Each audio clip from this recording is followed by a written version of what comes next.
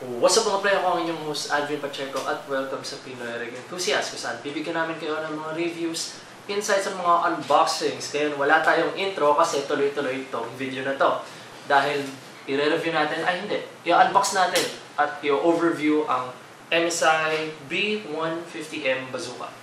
So ito yung front at ito yung back. Nakalagay dito na supported niya ang 6th generation Intel Core processors. Uh, LGA 1151 ang socket. Chipset naman ay B150. Graphic interface, meron siyang isang PCIe 3.0 times 16 slot with 6th gen Intel Core processors ang rear.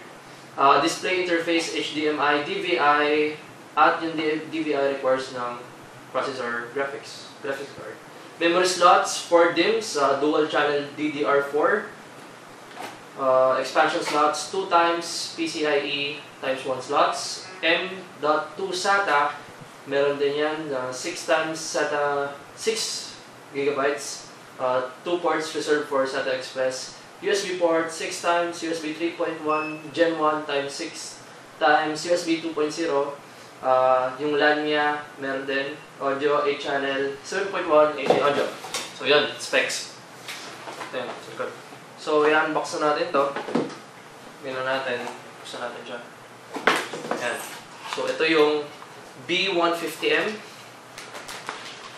Tabi muna natin yung motherboard.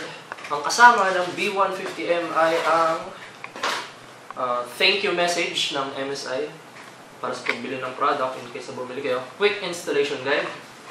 Driver, which is dapat i-update nyo lagi. Pwede nyo ito gamitin, pero syempre update nyo kagad.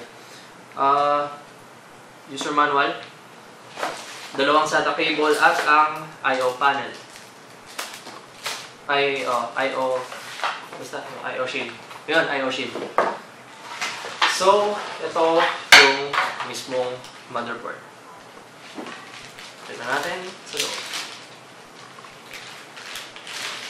Yan. Makikita nyo, ayan yung sa PCI. Tapos ito yung supported na DDR4, supported na 4 slots na RAM slots. At ito yung I.O. Siya audio, uh, USB 3.0, DVI, HDMI, uh, tsaka yung mga PS2 ports. Yung LAN, tsaka 2.0 nandiyan na. So, ayan. MSI logo, CMOS battery. Ayan. Tingnan nyo dyan. Ito pala saksakan ng ano niya, SATA. Naka-angle. Ano pa ba? So, ayun lang. Uh, maraming salamat sa sumusuporta sa Pinoy Rig Enthusiast. At panoorin nyo yung next video. Uh, tuloy-tuloy ito. Unbox pa namin yun, no? Pakita mo.